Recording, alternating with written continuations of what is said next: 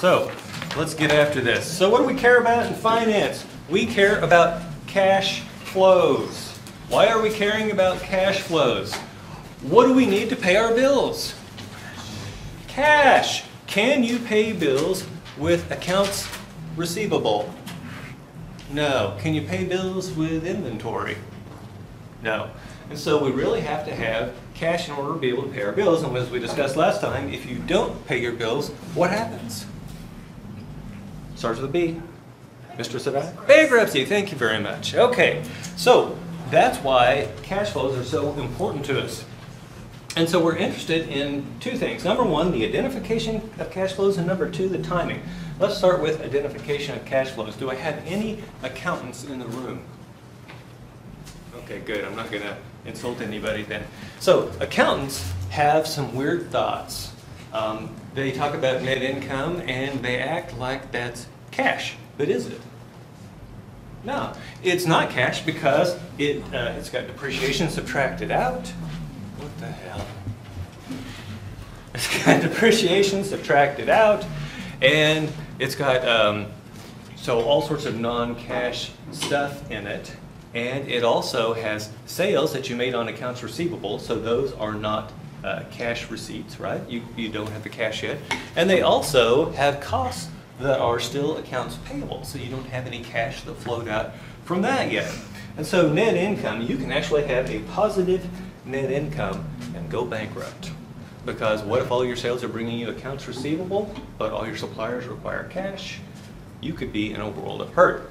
So we're interested in identification of cash flows, and a lot of times what we end up doing is having to back those cash flows out of accounting numbers. And that's one of the things that we cover in chapter two that you're supposed to have learned in Finance 8600 and all your accounting classes before you came here. But if you haven't, I have kindly provided you with the video to teach you how to do that. The second thing is the timing of cash flows. And the timing of cash flows is important for at least two reasons. Any ideas? The uh, time value of money. Yeah, time value of money. We all know that a dollar today is worth more than a dollar a year from now, especially now that we have 8% inflation, right? And so definitely the timing is important for the time value of money. But there is one other important reason timing is important. Can anyone guess what that is? So current assets, current liabilities, we uh, talk about current assets being things that are going to bring us cash within a year, and current liabilities are going to be things that require cash within a year. And so if my current assets are greater than my current liabilities, I might feel that I was okay. But what if my current liabilities were coming due in six months, and I wasn't actually going to have the cash until nine months? Then I've got a problem. And so the timing of cash flows is also important for the fact that we just need cash at certain times to do certain things. Questions? Okay. Now let's talk about the goal of financial management. This is something that's getting, uh, getting obscured even now among people who are previously good financial thinkers. Let's talk about these different things. Um, number one, first of all, who are my marketing people here? Okay, so quite a few of you. Um, should we be looking to beat our competition slash maximize our sales and or market share? Is that what we should be focused on? When I used to work in industry, and I would see the accounting guys, um, hang, or not the accounting, the marketing guys hanging out at the water cooler. They'd say things like, hey man, did you see the market share numbers for last month? They were off the charts, man. And then they like high five each other. That's not dignified. Okay, back to the story. Um, and so they, they would really get hot over that. But here's the problem you can chase market share and drive yourself into a hole. How could you do that? What's one way to improve your increase your market share? Undercut the competition. And how are we going to do that? We have to lower our Yeah, lower our margins. Lower your price, and that leads to lower profits unless you can also cut your costs. Uh, one example there, Costco keeps the price of that ridiculous hot dog at what, a dollar fifty? And uh, their, their margins kept going. Uh, so what did they eventually do? They cut their costs by cutting out Hebrew National, and they came up with their own hot dog plant. So now those hot dogs are manufactured in their own plant. Um, most people don't manage to cut their costs like that. And so a cautionary tale is a company called General Motors. Are you guys familiar with the General Motors? Yeah. And so if you roll back in time to the early 1970s, General Motors was on top of the world. And then there was this little thing called the Arab oil embargo, and the price of gasoline went through the roof. And General Motors is making cars with 455 cubic inch engines that get like four miles to the gallon. And I remember gas when it was 45 cents a gallon, and my dad had a 400 cubic inch engine in his Ford, and we were walk, just driving around, you could just hear the sucking noise as you drove, right? But then 1973 happens. What do you think happened to gasoline prices? They went up, right? And so in, uh, and I remember 1979, when gasoline went over a dollar a gallon, we thought the end was coming, right? We thought that was, that was the end times, right? But back to the story. Uh, do you think General Motors was in a good position to weather that storm? No. They had been manufacturing, and then basically after World War II, the U.S. had been the chief industrial power in the world because all the other people, like Germany and Japan, had had their industry destroyed. We were the only untouched nation. And so we cruised for a long time on that. So we cruised into this oil crisis 1973. Toyota, on the other hand, has been making small, fuel-efficient cars that, have, that are actually reliable. It's just an amazing concept, right? And so Toyota, and back then it was called Datsun, now it's called Nissan, they start to import cars into the United States. The cars are cheaper, they're more reliable, and uh, Americans eventually gave up their, their jingoistic love of the American car and started buying these things. And I knew that the end was coming for General Motors when my dad's hunting buddy Wayne bought a Datsun B210. I'm like, holy crap, that's the end for them, right? Okay, so what does G, how does GM respond? Well, GM could have responded by making better cars. They could have responded by making more fuel efficient cars, right? That would be, that would make sense. But what do they do instead? Eh, we'll just cut the price to maintain our market share. Fine, but what does it do to profitability? Keeps going down, right? And so it keeps going on and on and on until finally, what happens with General Motors in 2008? Bankruptcy. And in fact, General Motors was down to the point where the money that they made on each car they sold was just enough to cover the health benefits for their retirees. Right? Whew. So, you can actually destroy yourself by trying to maximize or even just maintain your market share. And by the way, were they even successful? No, they just slowed the decline of their market share. Okay, what about minimizing costs? Minimizing costs. Any of you guys know Jim's Steakhouse here in town? Have you ever been? Yes. Is the steak pretty good? I don't know, I'm allergic to beef. She's allergic to beef. Oh my goodness. it's horrible? It's horrible. My aunt got Okay, so uh, let's let's imagine a steakhouse that you enjoy, or in your case, a chicken house that you. Is there such a thing as a chicken house? I guess Popeyes, right? Okay, back to the story. So now let's assume that the owner of this steakhouse is out back smoking a cigarette because most restaurant people do smoke, and he's out back smoking a cigarette, and a guy pulls up in a truck, and the truck has on the side of it has a horse. And the guy gets out of the truck and he says, Hey, are you the owner of this place? And the, and, and the, the owner says, Yeah. He says, How would you like to pay half price for your meat? What does the owner say? I would love to. I'm listening, right? And he says, Well, how, how can you pull that off? And the guy says, We have horse meat. Yeah, we sell horse meat.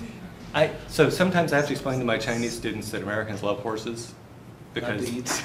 yeah, yeah. We, so we don't eat we don't eat horses or pets. We just don't, right? So back to the story, and, and they'll tell me that you know. So I was actually in China for the dog meat festival. So I'm not like saying stuff that I don't know about, right? I was there. I saw it. Back to the story. Boy, you guys are getting all your cultural competency points today, right? okay, so, um, and, and, and so then the, the steakhouse owner says, wow, that's a great idea. And so they start buying the horse meat. Now, uh, every place has regulars, and uh, the regulars will come in and they'll order the same thing they always have. And so I order the filet mignon. You guys know what that is? Filet mignon? Okay. And so, but it tastes a little gamey and a little tough. And so I call the owner over and I'm like, hey. He's like, uh, how's everything? I'm like, it's great, but the steak is a little off today. It tastes a little different. He says, that's because we're using horse meat. He says, in fact, what you're eating is now the filet mignon. right? Never mind. Okay, so what do I do? I'm a polite American. I'm going to pay the bill and I'm going to tip because the waitress was not involved in this debacle, right? But am I going to go back? No. And I saw the same thing happen with Hershey's during the financial crisis. They started substituting vegetable oil for cocoa butter. And you can, if you want to know what cheap chocolate smells like, just walk down the candy aisle during Easter time. And that's all that vegetable oil nasty chocolate. My wife and I were in the grocery store and I'm like, I smell cheap chocolate and it's not Easter. And there was a display of Hershey bars. I'm like, oh man, they have made a huge mistake, right? If I want cheap chocolate, I'll pay less and get cheap chocolate. Okay, so you can destroy your business by trying to minimize costs. What kind of costs should we be trying to get rid of? How about ones that don't bring value to our customers? We should be trying to get rid of costs that don't bring value to our customers. So, for example, um, I get razor blades from Amazon.com. And those razor blades come in that awful packaging that they use on the shelf at Walmart to keep people from stealing it, right? You're almost certainly going to get injured trying to open the darn thing, and it's just a real pain. And so, what if they instead sell through Amazon, who doesn't have to worry about thievery, sell, sell to them in the frustration-free packaging. It's going to cost less, it's going to be better for the customers, it's a win all around. Those are the kinds of costs we should be looking to get rid of. Now what about maximizing profits? Maximizing profits sounds like a great idea. So let's talk about one way that we can maximize profits. Uh, in case you're unfamiliar with accounting in the United States, you must account for all of you, you must uh, expense all of your research and development um, during the year in which it was incurred. Now, I've got a, oh, I do, yeah, it's right there. Um, I've got an iPhone 12 mini, and uh, it came out in 2020, I think. Um, when do you think the R&D was done for that? Yeah, it was done beforehand.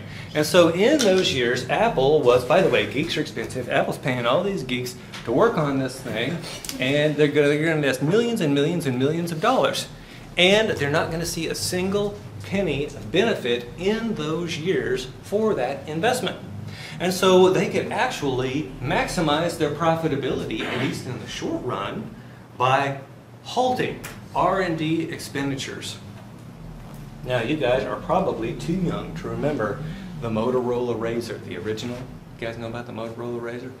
Oh my goodness. So everything up until then was, uh, it's like about this size.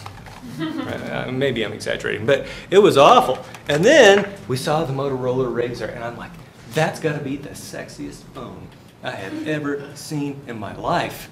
But I was unfortunately on a two-year contract with one year left.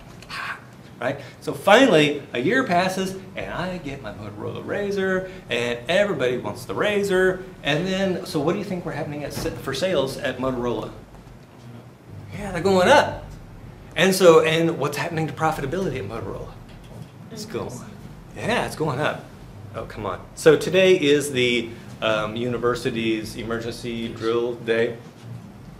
I am, uh, so let's talk about what would happen if we had an active shooter. Do you see any way for us to lock that door? No. If you don't have the keys, probably not. Exactly. Do you think they trust me with keys? They should. They should, but they don't. This is the first university I worked at where they wouldn't. I don't even have a key to the departmental office. Wow. Yeah, I know. Okay.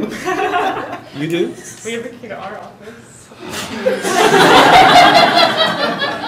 Ah, Showing what I. I guess I need to take a demotion so I can get a key.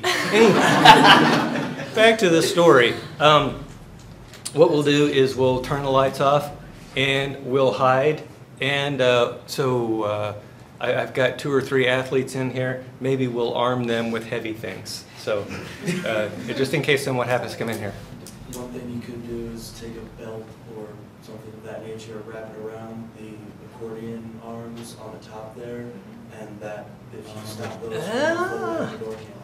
It's okay. Raise your hand if you're wearing a belt. Very good. So we've got backup, right? Okay, I- I'm wearing one too, so we're all good. Thank you. That's an excellent tip. Okay, so that's my that's my little safety spiel. So there we go. Okay, now let's talk about what Motorola did. Motorola ceased uh, investing in their R&D. We didn't realize it at the time, but they did. And then their very next phone that came out was spelled, you know, since Razor was like R A Z R. And the next thing they come out with is called the Pebble. Why the Pebble? Because it looks like a rock. Now, one of the great things about the razor was when you put it in your back pocket, it barely showed. What do you think it looked like when you put the pebble in your back pocket? Yeah, you got some issues, right? Okay, especially if you try to sit. It's a bad, bad deal. Um, so, uh, what do you think happened? Do you think the pebble was a big hit? No, in fact, they might as well call it the turd, right? Because it was, nobody wanted one. And so, as a result, what happened to the sales at Motorola? What happened to the profit at Motorola? What happened to the stock price at Motorola? Went down. In fact, it got so cheap that Google bought the entire company just for the patents and then separated the patents from the rest of the company and sold the carcass to a Chinese company called Lenovo. You can still buy Motorola phones today. They're not actually Motorola, they're, uh, they're Lenovo phones. But you probably wouldn't buy them if they were called Lenovo because you think Motorola, that's a brand you recognize, right? That's a cautionary tale. They were trying to maximize their profits, and it came back to bite them. Now, what about um, maintaining steady earnings growth? Which would you prefer? A stock whose earnings growed 3%, 3%, 3%, 3%, 3%, or 2%, 5%, 3%, 9%, 4%, 12%? Which one would you prefer?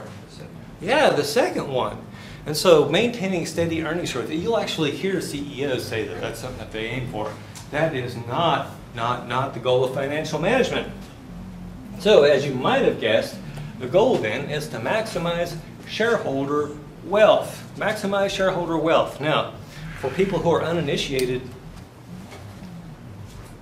uninitiated in that, in the idea, uh, they might think that, oh, this is a bunch of greedy shareholders and they're just out for their own. Yeah, okay, so let's talk about why maximizing shareholder wealth actually makes sense from an everyone perspective. Let's talk about the way cash gets handed out at corporations.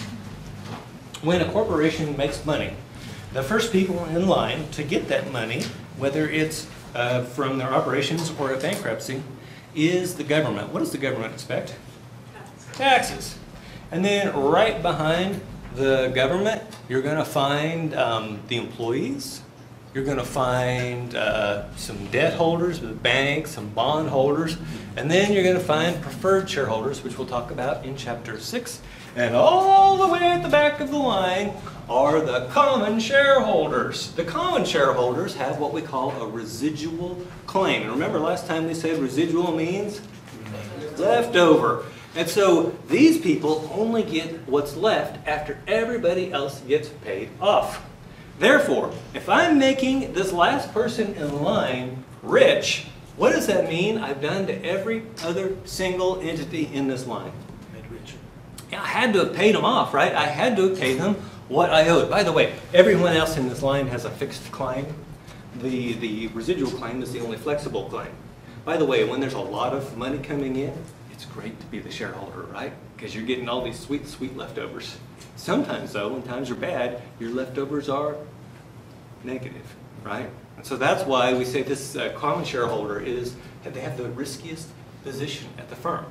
But they have risked their wealth to make this enterprise possible. They deserve to be compensated, and by the way, if we're making them wealthy, we've already paid everybody else. Does that make sense? Okay. Now, you may hear people say, Oh, but what about stakeholders? And this is the this is the argument of the day right now. And that is we don't just want to think about the shareholders, we want to think about all these people or who are stakeholders. Well, what kind of what are stakeholders? They're people who might have an interest other than a financial interest in what's going on at the firm. And, and some of these actually do have a financial interest. Uh, we've got the employees. What are the employees interested in? getting paid is the, the number one thing, right? And then good working conditions, all that. Then we have our customers, we have suppliers, and we have the government, and I'm also going to add the environment in there. So go ahead and write down environment after government. We'll talk about that. If I don't talk about it, remind me. Okay, let's talk about our employees. If I am maximizing shareholder wealth, I am going to take care of my employees. Let me explain to you what happens if I don't.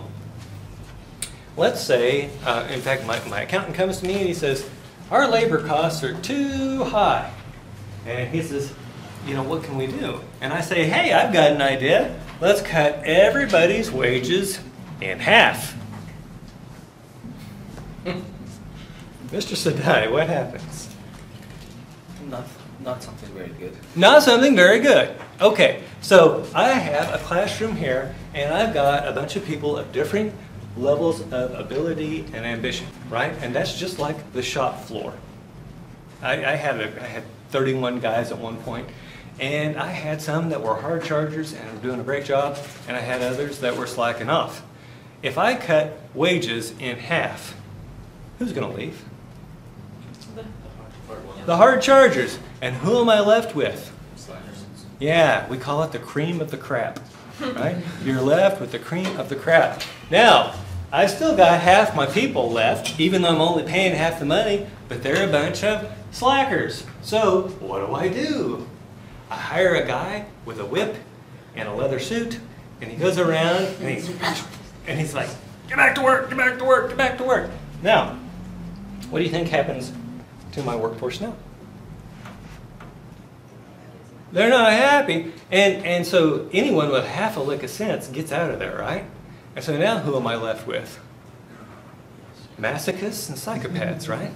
And so now I've really, I've really done a bad thing here. Now, let me ask you this question. Was I maximizing shareholder wealth by treating the employees poorly? No. No. Does that mean I should pay employees way more than they're worth? No. But I should treat them fairly, I should provide good working conditions, I should provide them a fair exchange for what they're giving me. What about customers? This one's easy. What if you treat your customers like crap? So good luck with that. Yeah, as long, as long as you're not the only game in town, they're going to go somewhere else, right? And by the way, when we used to have only one phone company, do you know how the phone companies treated us? Like crap, right? And so now when you talk to the phone company, they treat you slightly less like crap because there are places, other places you can go, right? Okay, now what about suppliers? What if I treat my suppliers poorly? By the way, typically, the way we treat suppliers poorly is by not paying them in a timely manner. That's typical. What if we don't treat our suppliers well? What are they going to do? Yeah, they're going to cut us off. Now, it depends on really the size of your organization. If you are a small business and you are treating your suppliers poorly, it's really easy for them to cut you off. What if you're Walmart? A little more difficult. A little more difficult. And in fact, uh, this has been Christmas 1993. I was working in Walmart General Headquarters, and we were doing invoices, or we were paying bills for refrigeration companies, because you know Walmart's got a lot of coolers and stuff. And we would get the bills. And some of the bills said overdue, and they would say that, you know, there was this extra penalty on there. And so I I'm just a temporary worker. I hold up my hand and I ask the boss, do we pay the penalty? And he says, no. And he, he didn't say screw him. He said something else. He said, said screw him. We're Walmart. Now, what does that mean? Why, is, why can Walmart get away with that when you, with your small engine repair shop, can't? They have more power. Yeah, they've got power in the market, right? So power in the market can be as a supplier or as a customer. If you're the biggest customer, you've got market power. If you're the biggest supplier, you've got market power. Okay. I am sure Walmart doesn't do their business like that anymore. Okay. By the way, we are in a building named after the CEO of Walmart, and we are thankful to their generosity. Okay, back to the story. Um, so don't treat your suppliers bad because they'll cut you off. If they cut you off, you can't sell anything, you can't sell anything, you can't make a profit. Is that good for the shareholders? No. And then we've got the government. By the way, if you don't pay your taxes, what's the government going to do? They're going to come down on you, right? There's going to be problems. Do you think it's going to be good for shareholder wealth? No. Okay. Oh, by the way, there are many ways for us to say maximize shareholder wealth. I could say maximize the market value of the equity. I could say maximize the share price. I could say maximize the price of the common shares. I could say maximize the market price of the stock. So many, many ways. But basically, you have to look at each one of those and ask yourself, does that directly correlate to maximizing shareholder wealth? And if it does, then that would be an appropriate answer. I'm telling you this because there will undoubtedly be a multiple choice question. And undoubtedly, the answer will not necessarily be maximize shareholder wealth verbatim. There are many ways to say that. And so you could go back and read your book for some additional ideas on that. Okay, finally, at the end of this, we have the environment. If I don't take care of the environment in the United States, what's going to happen? What's that? Depends. It depends. Sometimes the government regulates that, but also people's opinion. Okay, so uh, let's roll back to 1969. This is before the Environmental Protection Agency, even before I was born. There was a fire on a river in Ohio. The river was so polluted that someone tossed a cigarette and the river caught fire and it actually burnt the bridges over the Cuyahoga River in Ohio. Locals would call it the Cahoga River, but I'm, I'm saying it as it's spelled, Cuyahoga. That, the very next year, we got Earth Day and we got the Environmental Protection Agency. And now, if you pollute, the EPA comes after you. And I can tell you from my own experience working in industry that they were pretty on top of things. If we were doing something nasty, they were after us. So, uh, and, and you can look country to country, it's a little different. In fact, they've just recently started implementing environmental protection laws in China. But in the United States, if you don't, you eventually are going to get caught and you're eventually going to have to pay something. What are they called? Fines. And you might even get sued. And so there's legal judgments. And if you don't believe me, you can watch that movie with uh, Jennifer, Jennifer Ro- Roberts, Julia Roberts, Erin Brockovich. You guys ever seen that movie? Yeah. Oh my goodness, my cultural references are all out of touch. Okay, back to the story. You're going to end up spending a lot of money to take care of this problem. And not only are you going to have to pay all the fines and this stuff, but you're going to have to pay to clean this stuff up. Now, let me ask you this. What do you think is cheaper, preventing pollution or cleaning it up? Preventing is much cheaper. And if you don't believe me, I want you to do this example on the way home. I want you to stop at the store and I want you to buy two two liter bottles of Coca-Cola, the sugary stuff, not that diet crap.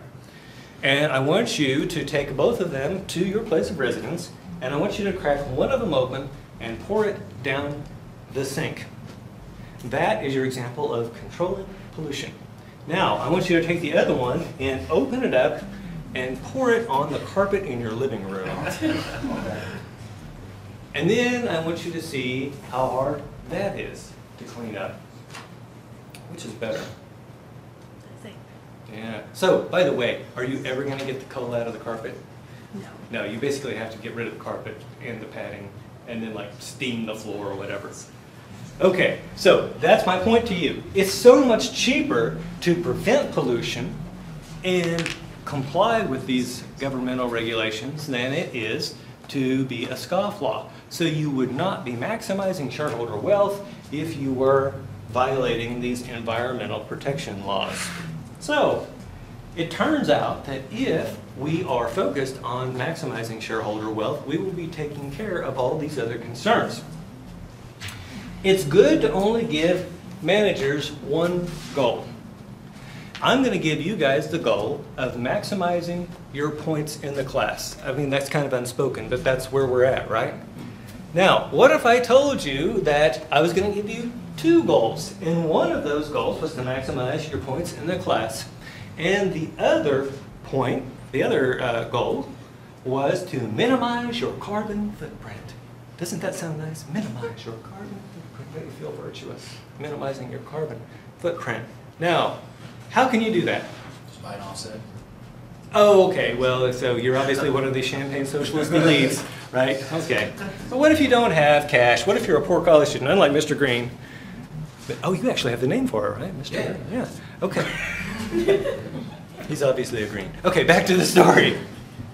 Howard. So let's let's ask um, Robertson. Robinson. Robinson, Mrs. Rob, Ms. Ms. Robinson, Ms. Oh, Miss. Okay, Miss Robinson.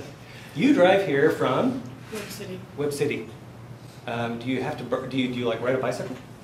No. No. Do you drive an electric car? No. Uh, so you're, you're burning gasoline.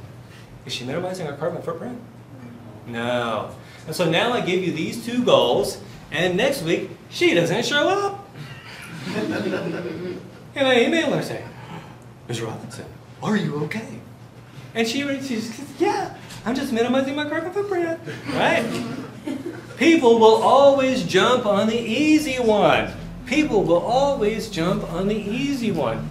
And so that's why, and it's kind of sick, but right now you hear CEOs saying, oh yeah, we need to focus on, and they're like throwing all this stuff up over here. You're like, oh, sustainability, and let's give shoes to kids, and all sorts of other stuff. Like, look, how about this? You make a profit, you pay me the dividend, and I'll buy shoes for kids that I like. Does that make sense? Because after all, whose money is it anyway? It's mine, right? So, you'll hear people throwing out these arguments, and managers are buying into it simply because it means that they don't have to deliver on their top job, or should be their only job, which is to maximize shareholder wealth. So be careful buying into these fallacious arguments. By the way, fallacious means of or pertaining to a fallacy. If you thought it meant something else, right? Questions? I used that word one time in class, and this young lady goes, Okay, let's talk about regulation. So we've got publicly traded firms. What does that mean? If you're a publicly traded firm, it means you have stock available out there on the stock market. So if you're a publicly traded firm, you are regulated by the Securities and Exchange Commission. And the Securities and Exchange Commission, by the way, they haven't always been around. They came around after the 1929 stock market crash. Took us like four or five years to get our stuff together, but finally we get the SEC. And the things that they're asking for are not all that uh, unusual in the beginning. They're saying things like you have to disclose your pertinent financial information. Wouldn't that be something you would want to know if you were going to invest in a firm?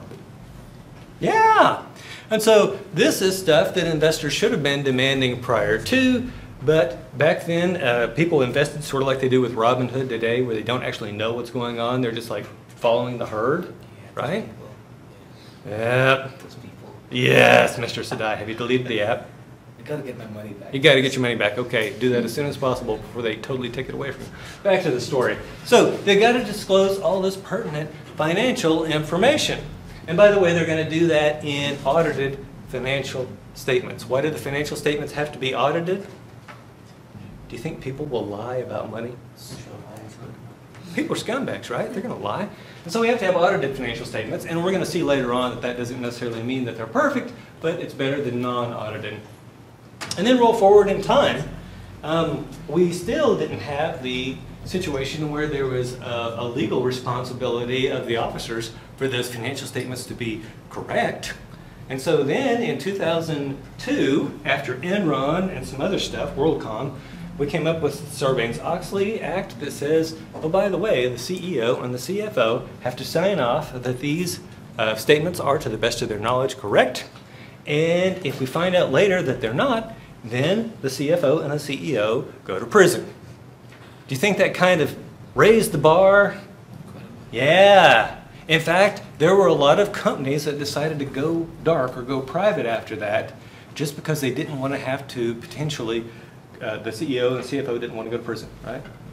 That makes sense. And by the way, that's good. It cleaned those companies out of the public markets. They're no longer out there for people to invest in. Okay. And then the final thing I want to say about um, uh, the, the final regulation is trading on inside information being illegal. What is inside information?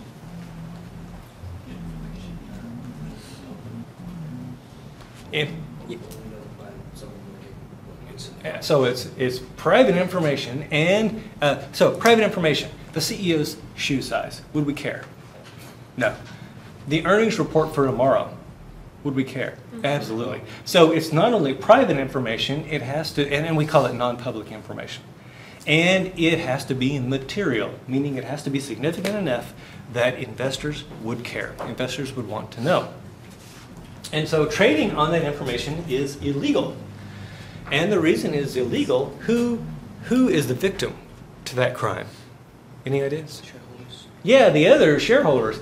I would have sure liked to have known that you guys were going to go bankrupt. I would have sold my shares too. Does that make sense? I was at a, and I won't name the company here, but I was at a, at a meeting, and it was at the corporate headquarters. And the executive vice president of Umpty Squad, I forget his title, but he comes in, and it's a management training class, and there are nine of us, and we're all men, or, or boys at least. And then he says, Gentlemen, I can't tell you what the earnings numbers are going to be tomorrow, but I can tell you to buy the stock now. Do you think I bought the stock? Absolutely. Absolutely, I- Mr. Sadai. Of course I didn't buy the stock, right? By the way, the SEC, what did they do? They look at trades before and after news events. And if they see unusual trading beforehand, they're going to kind of track you down. And then they're going, and it might have been just pure luck, right? Or pure coincidence. But if they find out that you work for that company, or that your uncle works for that company, or that your grandma, and, and it could be that you work for the company and the weird trading is happening in your grandma's account. They figure that stuff out. If you don't believe me, ask the people who are doing time in federal prison for doing this. And if you have forgotten how terrible federal prison is, remind me and I'll invite my friend to come talk to you guys about what it's like. Okay. Now, um, I will tell you one, uh, it's not illegal in every country. And so I had a guy in my same doctoral program, and he was from South Korea. And it was not illegal in South Korea. So he went to work for a, for a uh, investment banker. And he had access to all sorts of inside information on uh, mergers and acquisitions. And he was constantly trading on that information through his wife's account, through his mother's account, his grandma, his sister-in-law. He had all sorts of accounts spread out, including his own. And then the Korean government made that activity illegal. And the very next day, my friend turns in his resignation, and now he's back to being a professor. because it's just not worth it if you can't cheat yourself to riches, right? Okay, now let's talk about complying with regulations. Is it costly? Yeah, so regulations. In order to understand the regulations, what kind of person must we employ? Regulatory expert. A regulatory expert is usually going to be some sort of lawyer or accountant. Are these people cheap? No. They may be cheap in their personal lives, but they're expensive to hire, right? And so we end up having to pay a lot for that. Not only that, there might be opportunities that we could undertake if regulations weren't prohibiting us or at least creating a gray area where we are concerned that we might wind up running afoul of the government. And so complying with these regulations is costly, and we get back to, there are a lot of firms that simply, after every time we tighten regulations, you'll see this, a lot of firms go private, so they are no longer under those regulations because it was just too costly to get along with it. Now, here's the sick thing. Every one of these regulations gets brought on by an accounting scandal. And after every single one of them, we have greater requirements for accounting. And so, what does that mean for employment among accountants after a scandal? It goes up. Can you imagine having a job where you could create the own, your demand for your own product? That's what they've been doing. Okay. Any questions? Okay. Now let's move on to the agency problem.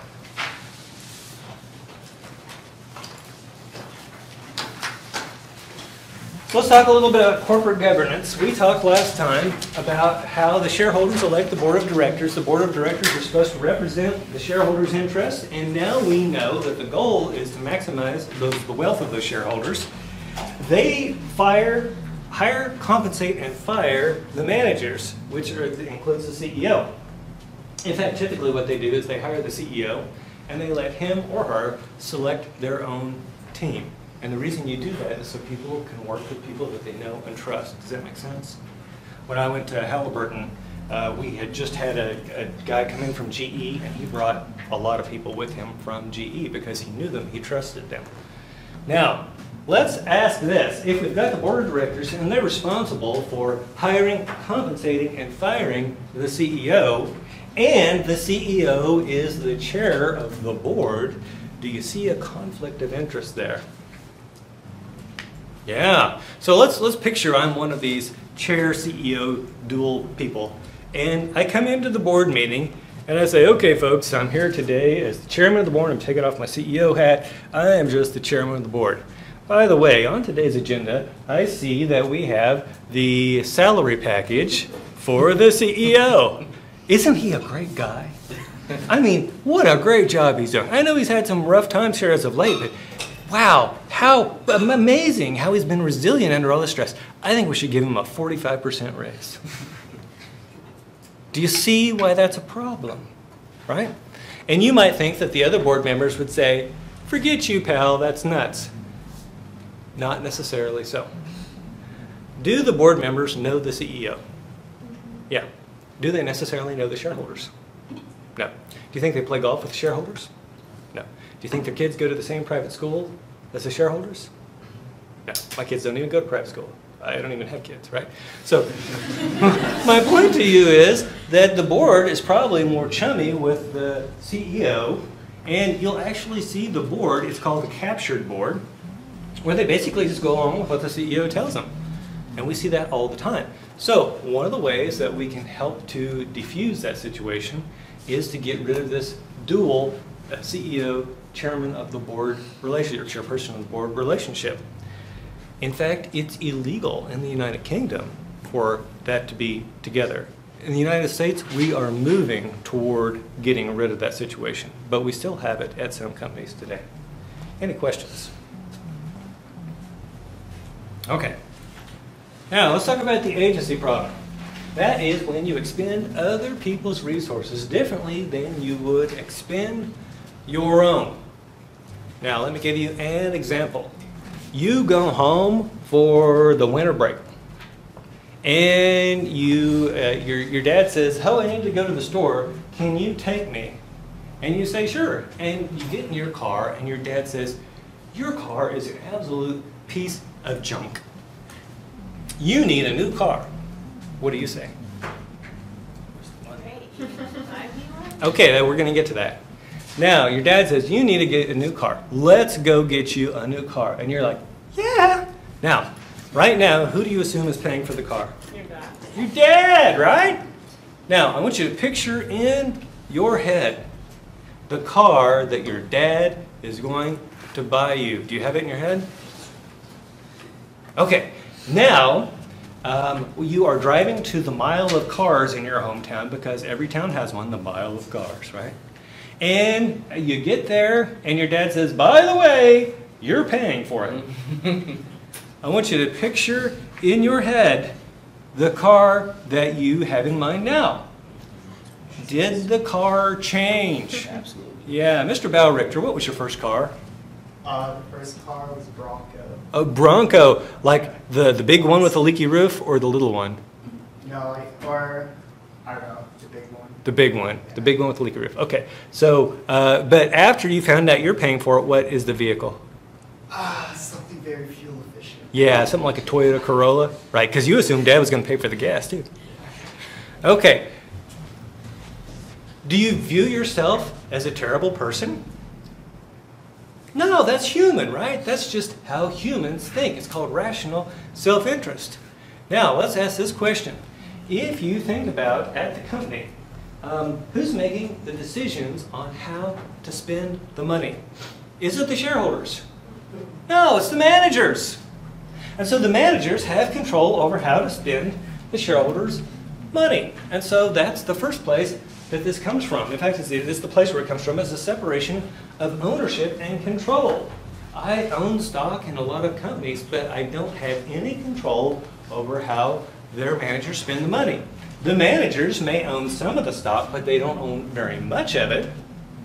And so as a result, they're going to spend that money differently than their own. And it's even worse when we have a corporation that's publicly traded.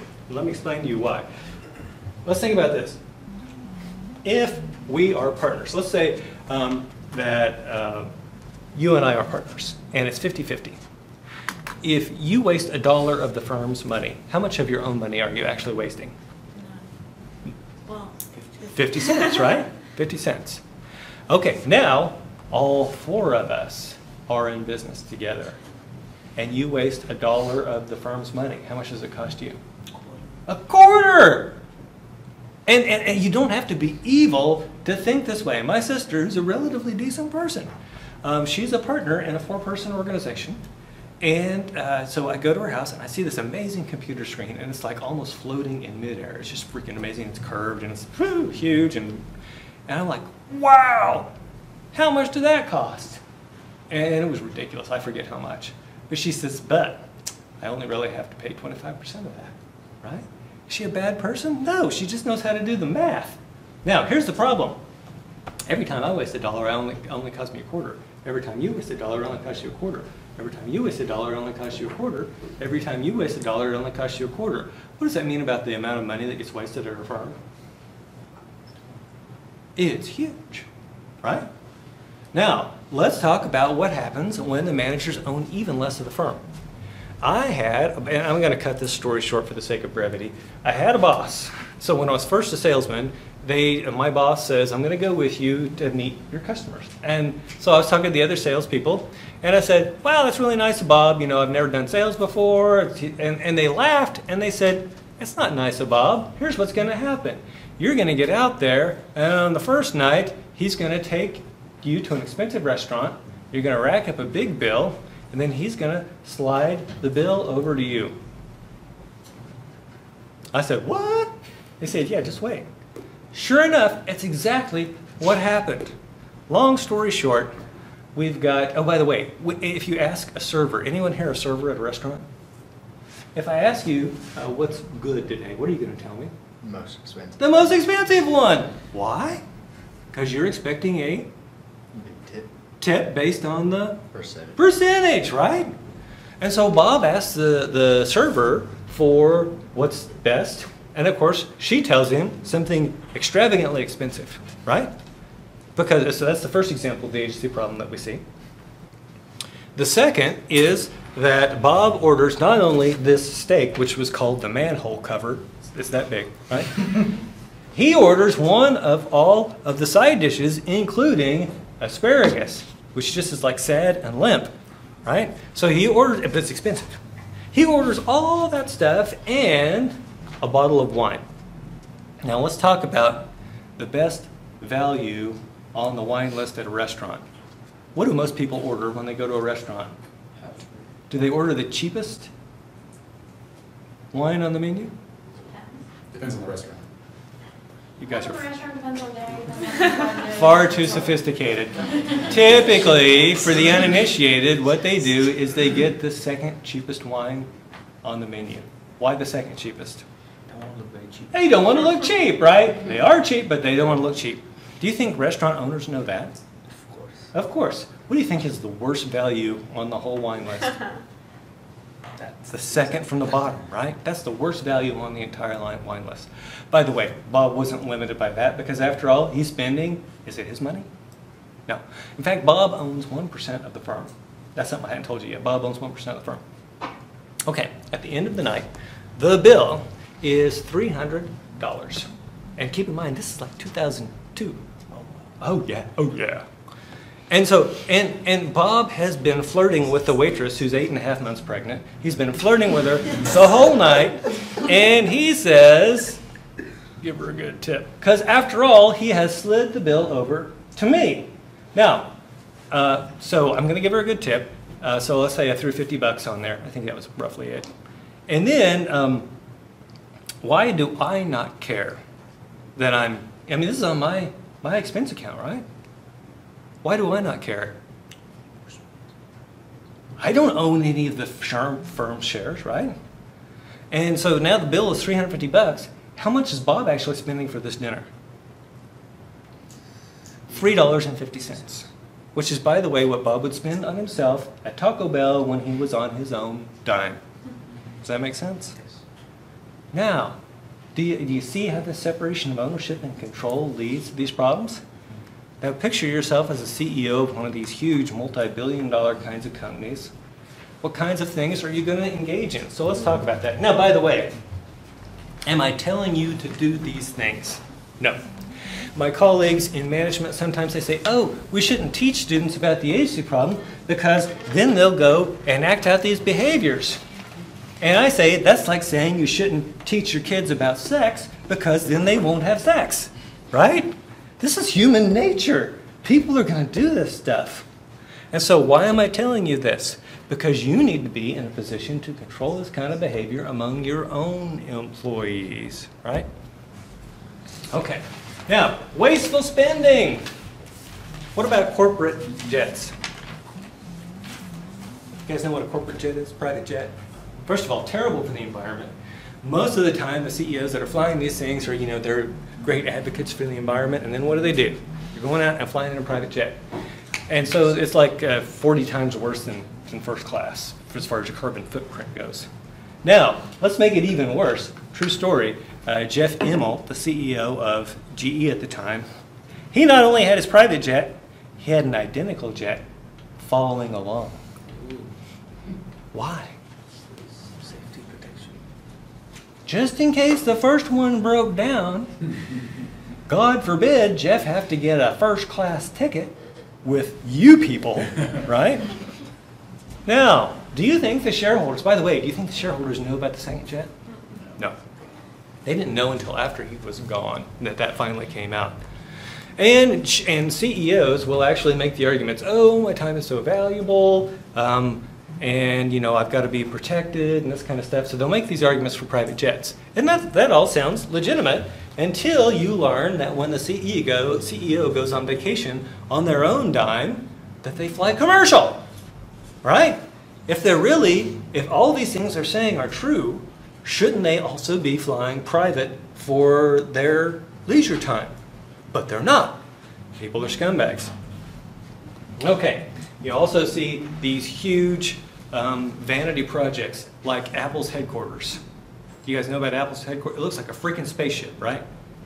It look, it's a vanity project for Tim Cook, and it started out Steve Jobs and he died. Anyway, uh, vanity project.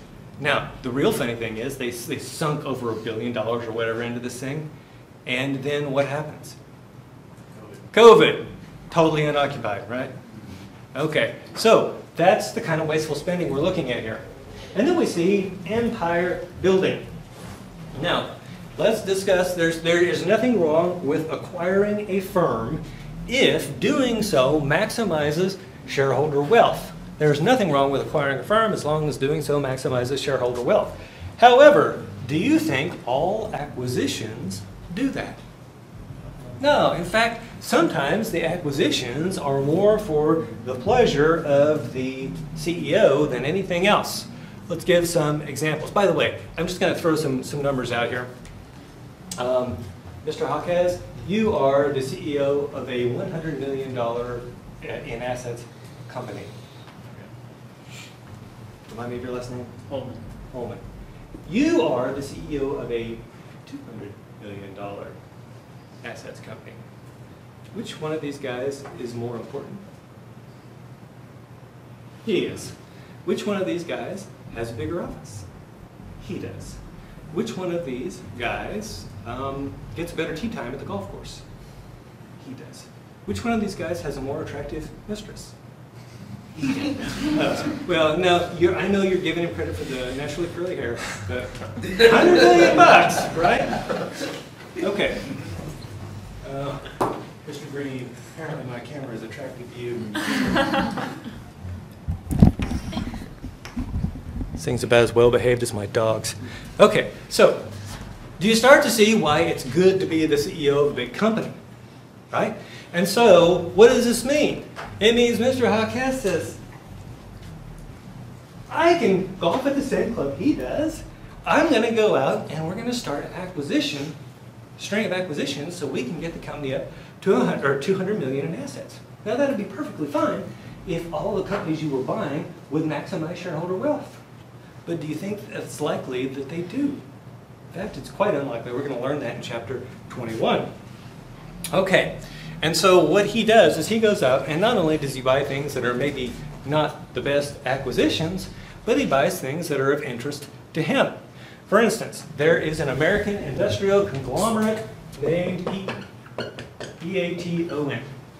And E-A-T-O-N, Eaton, um, and, and keep in mind, I, I haven't really researched them for a long time because I, I, it's been 25 years since I got a job offer from them. Anyway, so I did my research back then. And they had industrial electrical equipment. They had industrial hydraulic equipment. They had industrial this, industrial that, and, da, da, da, and the golf grips division. Anyone here play golf? What's a golf grip? Yeah, the thing you hold up at the top. What does that have to do with hydraulic motors? You can tell I can't play golf, right? Um, what does that have to do with hydraulic motors? Nothing. Why do you think the CEO would have been interested in buying a golf grips company? He what? So he gets them for free. Oh, he not only gets them for free, but what else? Where are we going to hold the board meetings? Near a golf course. Right? Golf courses to CEOs are like fresh litter boxes to cats, right? It just attracts them like flies. And so he, he he gets this golf grips, and then we're able to hold all of our. This year we're doing Pebble Beach. Next year it's going to be Hilton Head. And then we're going to do the old course at St. Andrews. Do you see how this works? It made no sense whatsoever for them to buy that. It's obvious, obvious, obvious that it's one of these empire building activities. Don't do that. Only acquire businesses that are going to maximize shareholder wealth. Now let's talk about shirking. Anybody know what shirking is? You know when you skip school? Yeah, it's the opposite of working. It's the opposite of working. Now, you uh, might not even think about CEOs being able to shirk, but they can, right? So uh, I'll, I'll give you an example of pers- a personal example. I had an employee named Roy in Dallas, Texas. And this is how Roy would move when he was working for me. He was very slow. He would go down to the tool room and he's like, oh, hey, how are the kids? Did you get to do any fishing this weekend? Yeah. Then he talks for maybe 10, 15 minutes and then he does this. He says, well, I better get moving before Haggard sees me, right? And he says, go ahead and give me the 98 double lot whatever tool that he was looking for. And then he goes back. And he goes back very slowly, of course. Now, one weekend, my wife and I are out driving around, and we happen to drive by Roy's house. And something you need to know about Roy is that even though he was a 42-year-old man, which seemed old to me at the time, but now does not, he was a 42-year-old man, his hobby was racing go-karts. Now, can you just go out and buy racing go-karts? Maybe you can now, but back then you had to build them, right? And so Roy's out there working on his racing go-kart, and this is what it looked like. he is moving like I slam on the brakes. My wife says, "What's wrong?" I said, "There's something wrong with Roy." Right? Now, why do you think Roy was working so hard at his house and so not hard at my on my shop floor? It's the agency problem. Who's getting 100% of the benefit of Roy's work when he's at home? He is. And by the way, his wife's probably told him he also has to mow the yard or he can't go racing tomorrow, right? So he's mm-hmm. probably in a hurry. Ladies, keep that in mind if you want the yard mowed. Okay, back to the story. So, but on my, when, when he's working for me, what does he do? He works only hard enough to keep from getting fired. Does that make sense? Okay. That's shirking. CEOs will do the same thing. And the older that they get, the bigger the problem is. We'll talk about why that is. Uh, we don't want to see that. Okay. Those are my old glasses, like three glasses ago. Okay, so how do we control the agency problem? Well, first of all, managerial compensation contracts.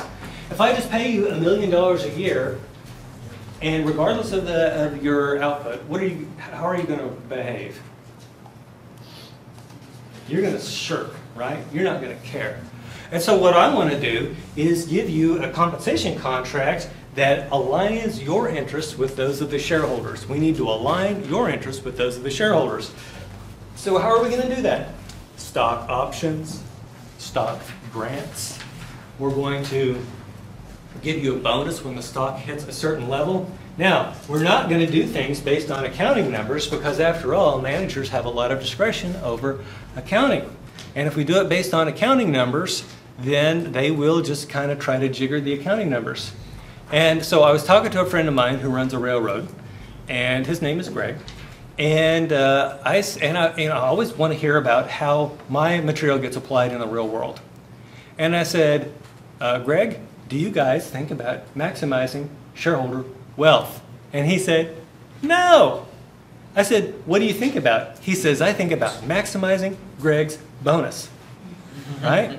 Greg's bonus isn't based on the share price, it's based on some numbers of which Greg has partial control of, right? Does that make sense? So we don't want to use accounting numbers for that.